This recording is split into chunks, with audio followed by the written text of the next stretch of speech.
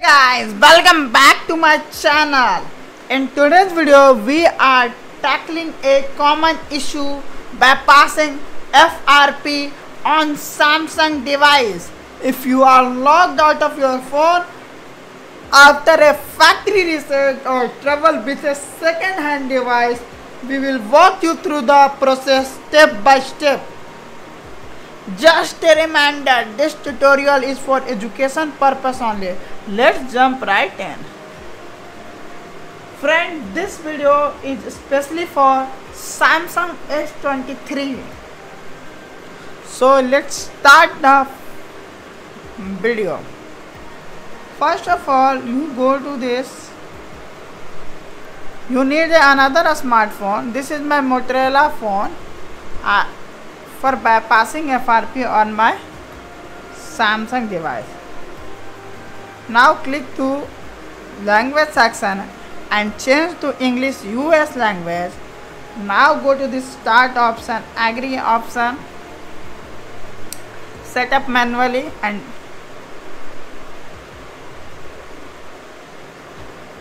wait few seconds friend.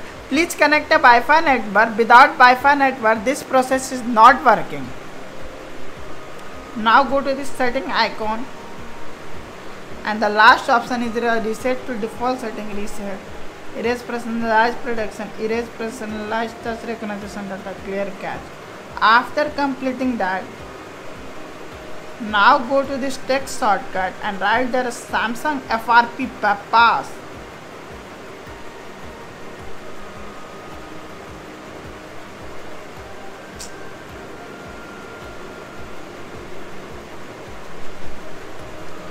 and not. Write there star hutch 06 hutch usd code and click to add option. After clicking add option now wait few seconds on this page and now wait friend. And go there. And now write the same code star hutch 06 hutch. And now you open a new page. In in this page you can see that your serial number IME1 number and IME2 number after 10 second waiting click on this ok button. And now go to again start option. Click agree. Click setup manually. Wait few seconds friend. Now write there samsung frp bypass.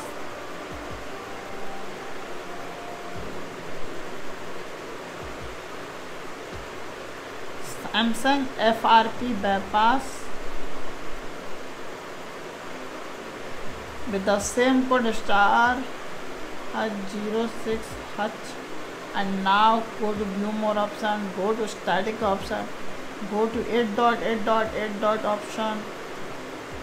Now go to 8 dot 8.4.4 option. And now go to this save option. After completing this process friend oh, go to emergency call and open star star hutch star hutch and now go to black option and wait 5 seconds. Your touch screen is not working in this in this process. Now click on this power button. And now go to the sensor option. You can show the graph. After that now click on this. And go to this page setup manually and open your another phone. Please make sure both phones are connected at same Wi-Fi. Then this method is working on your phone. Now you can see that a new a message is arrived. You can see that setup. So click on this setup to transferring data one device to another device. Now click on this setup option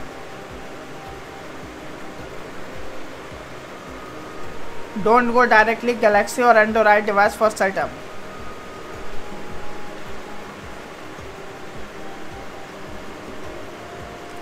Now open this phone.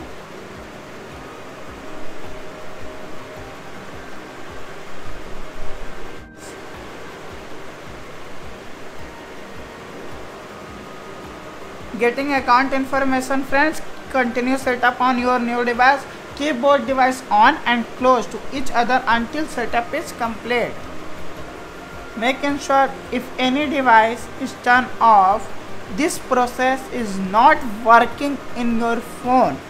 So making sure don't turn off this device. Now click to don't copy. And now you can see that a new gmail id is added on my google service i am not entering my gmail id but you can see that there is a new gmail id added. Because the uh, motor uh, data transfer to one device to another device so gmail id is also transferred to from one device to another device. And now click to accept option. Now click skip and skip anywhere.